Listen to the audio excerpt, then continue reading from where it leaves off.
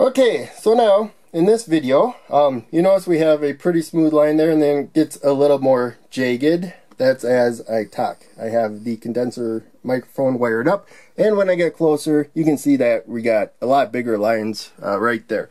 So um, it's turning the noise that I'm making into a waveform. Uh, so we have the oscilloscope probes there. I clipped uh, the uh, voltage reading there to the uh, red alligator clip and that voltage is in relationship to ground there zero volts coming over there.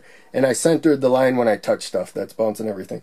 I uh, centered centered the line to be zero volts right there. So we're going up and down um, because uh, that's what sound waves do. They uh, move one direction and then the other. So uh, basically we're kind of charging and discharging that uh, capacitor as the sound goes. Without the capacitor uh, we just kind of have erratic um, and the power supply turned off for some reason. Um, we just have erratic uh, waveforms without the uh, capacitor. So uh, power's on. I don't know why it keeps turning off. Um, but there we go. I removed the capacitor. Now you can see all that uh, craziness right there. So the uh, capacitor here is a 0.47 microfarad uh, capacitor. And good, the power supply turned on. So let's uh, let's go back and demonstrate that again. I'll come closer. You can see the be a bigger waveform right there.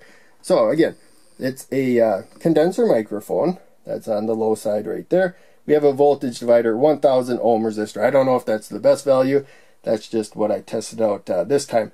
And uh, so that's about half of a microfarad. It's a 0.47 microfarad capacitor right there kind of smoothing uh, things out for me. We saw that major, um, you know, bouncing around before, and uh, now it's pretty smooth until I get, uh, you know, close and talk into the microphone.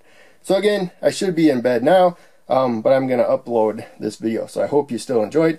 I'll uh, try to improve on this circuit in uh, the near future. We'll see. I bought uh, new condenser microphones that I already have wires attached to them. I think that's some of the problems I have is how well it's connecting to the board.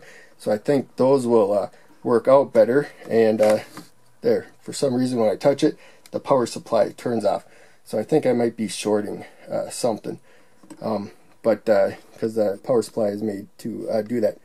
But uh, any case, that's it for this video. Thanks for watching. Make sure you check out one of the other videos I'm posting on the screen and check out the link down below. That'll help out a lot. I'll see you in the next video.